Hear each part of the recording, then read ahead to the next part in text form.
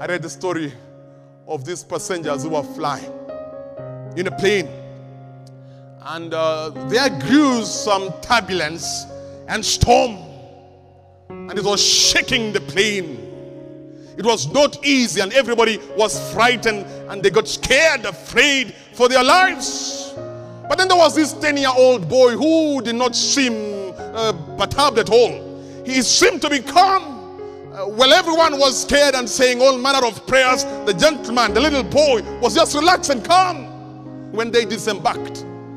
Some people asked him, but, but we saw you in the plane and you didn't seem like you were disturbed. What was the issue? The young boy said, I was not troubled because my father is the pilot of this flight.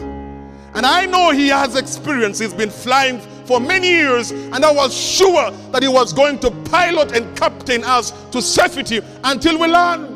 We will serve an almighty God who has been through these turbulences before. The Bible says he came down and he lived our life.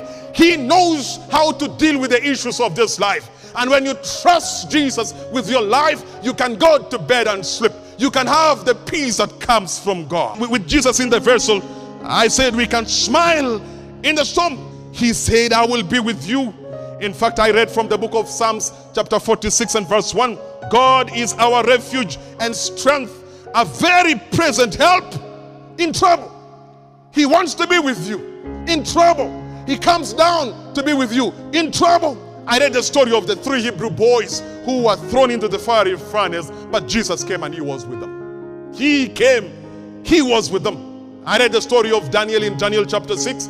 He was thrown into the den of lions.